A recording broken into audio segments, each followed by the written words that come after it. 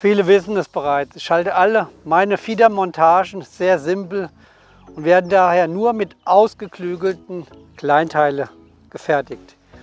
Hier in dieser kleinen Aufbewahrungsbox befinden sich alle meine kleinen Helfer, die ich für alle meiner Montagen beim Futterkorbangeln benötige. Angefangen vom Semi-Freilaufsystem, Schlaufenmontage, Seitenarmmontage bis hin zum Method-Rig. Was sich in diesen einzelnen Fächern befindet, das erfahrt ihr hier in diesem Filmchen. Bleibt dran und seid gespannt. Hallo und herzlich willkommen mal wieder bei MS Friedfischen TV und für alle neue Gesichter. Mein Name ist Michael Stögel und meine Passion ist seit meiner Kindheit modernes Friedfischangeln pur. Auf, los geht's! Wir gehen einfach die einzelnen Fächer mal durch und ich erzähle euch was dazu. Sei vorab bemerkt, dass ich alle meine Helfer hier in das robuste Aufbewahrungssystem Genius mit dem cleveren Verriegelungssystem untergebracht habe. Es ermöglicht mir jeweils einen Behälter oder gezielt mehrere Behälter, geht ein bisschen schwer, zu öffnen, ohne dass die anderen sich mit öffnen lassen. Diese Box ist somit für mich hervorragend geeignet zum Verstauen von Wirbel, Perlen. Auch Boilies, Dumbles, Kunstköder habe ich übrigens in solche Boxen untergebracht. Kommen wir nun zu Fach 1. Im ersten Fach befinden sich die Doppelkarabiner Heavy und Light. Ich nehme da hier mal welche raus. Hier sind die größeren und die kleineren, die Light. Diese speziellen Wirbel baue ich in die Schlaufenmontage ein. Der Vorteil ist, der Einhängewirbel besitzt zwei Schließer von links und von rechts. Man kann den Korb auf der einen Seite ein- und aushängen und auf der anderen sogar aus der gesamten Montage. So bekommt man einem, bei einem Spitzenwechsel schnell durch die Ringe, ohne die Montage zu zerstören. Oder wenn man gerne die vorgefertigte Montage auf der Rolle am Wasser aufbauen möchte. Man fädelt dies nur durch die Ringe und hängt zum Schluss den Doppelkarabinerwirbel ein. Ich habe euch oben mal in, die, in der Infokarte die Schlaufenmontage verlinkt. Den Doppelkarabiner benutze ich auch bei meiner Seitenarmmontage. Auch hier oben seht ihr den passenden Link dazu. Öffnen wir nun das zweite Fach.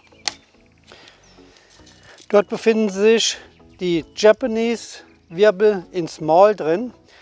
Den Small verwende ich gerne für mein Semi-Freilaufsystem. Dieser spezielle Wirbel ist sehr resistent und zuverlässig. Der Schließer hat keinen überstehenden Draht, was zu Verwicklungen führen kann. Im dritten Fach, ich habe schon geöffnet, seht ihr die Fiederkarabiner Wirbel. Ähnlich wie beim Doppelkarabiner hier Wirbel bietet er die gleichen Vorteile, nur dass das rotierende Teilchen äh, im Mittelglied fehlt. Der Fieder-Doppelkarabiner kommt bei mir in Kombination mit einem Mikrowirbel Größe 20 mit ins Spiel. Ich habe den hier schon auf der einen Seite eingebaut. Diese Wirbel befinden sich, also diese Mikrowirbel in Größe 20 befinden sich im Fach 4. Und diese Kombination verwende ich statt dem Japanese Wirbel, das ist der hier nochmal, ebenso bei mir im Freilaussystem. Weiter seht ihr in Fach 4 die Stopperperlen. Die habe ich mit den Wirbel untergebracht. Die haben einen ganz feinen Innendurchmesser und sorgen dafür, dass der Korb nicht zum Vorfach rutschen kann. Man kann durch die Perle eine Schnur bis zu 0,32 durchfädeln. Das ist einfach ideal, gerade beim Fiedern. Den Film zum Semi-Freilaussystem habe ich euch ebenso oben in der Infokarte verlinkt. Im fünften Fach habe ich die High-End Mikro-Silikonstopper verstaut. Diese ovalen, robusten Stopper sind so klein, dass sie sogar durch die feinsten Spitzenringe hindurch passen. Sie lassen sich bequemlos auch auf dicke Schnüre, wie zum Beispiel 0,30er Monoschnur, sauber auffädeln, sitzen auf jeden Fall sehr stramm drauf, ohne die Schnur zu verletzen. Diese verwende ich sowohl beim Semi-Freilaufsystem als auch bei der 13,5er Montage. Und schon sind wir bei Fach Nummer 6 angelangt. Dort seht ihr die Quick Snap Swivel Light. Diese leichte Einhängewirbel verwende ich, um schnell das Vorfach zu wechseln und um das Verdrallen der Schnur beim Einkurbeln entgegenzuwirken. Ein unbeabsichtigtes Aushängen des Vorfachs ist dank des zuverlässigen Schlauches nicht möglich.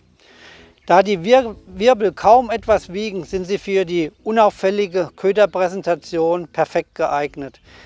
Sie haben ihr Einsatzgebiet beim Freilaufsystem, bei der Schlaufenmontage sowie beim Seitenarm. Im siebten Fach befinden sich nochmal Japanese Wirbel, allerdings in Large, die ich seit paar Monaten getestet habe und für sehr gut befinde.